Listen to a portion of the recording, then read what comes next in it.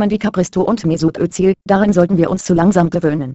Aus anfänglichen Gerüchten, die bereits seit 2010 in diversen Klatschmedien kursieren, scheint mehr zu werden.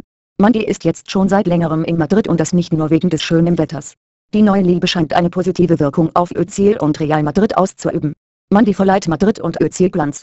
Die neue Liebe scheint Mesut Özil zu beflügeln, was vor allem die Verantwortlichen und Anhänger von Real Madrid freuen dürfte. Beim jüngsten 5-0-Sieg über Valencia war unsere Nationalspieler der beste Mann auf dem Feld und wurde von der spanischen Presse in den höchsten Tönen gelobt. An allen fünf Toren war der frisch verliebte Özil beteiligt und ließ eine Leichtigkeit auf dem Platz aufblitzen, wie wir es lange nicht mehr von ihm gesehen haben. Die Liebe zur früheren Monose-Sängerin Mandy Capristo scheint Özil und Real Madrid gut zu schmecken. Nachdem der FC Barcelona am letzten Wochenende seine erste Niederlage einstecken musste, konnten die Madrilenen den Abstand auf den Tabellenführer verkürzen.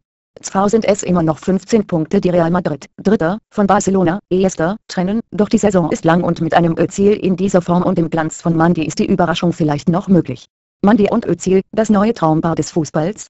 Werden wir die Sängerin bald öfter neben Topmodel Lena Gerke, der Freundin von Sami Khedira, Platz nehmen sehen? Wir hätten nichts dagegen und würden es dem jungen Pärchen nach ihren letzten, weniger erfreulichen, Beziehungen sehr gönnen. Nach dem Liebesaus 2010 mit Anna Maria, der Schwester von Sarah Connor, die jetzt mit Bushido verheiratet ist, wäre Mandy die erste neue Liebe an der Seite von Mesut Özil. Auch Mandy täte Mesut nach ihrer letzten Beziehung zu Rapper Calvin sicherlich gut. Das Single-Leben der beiden scheint ganz bald ein Ende zu finden.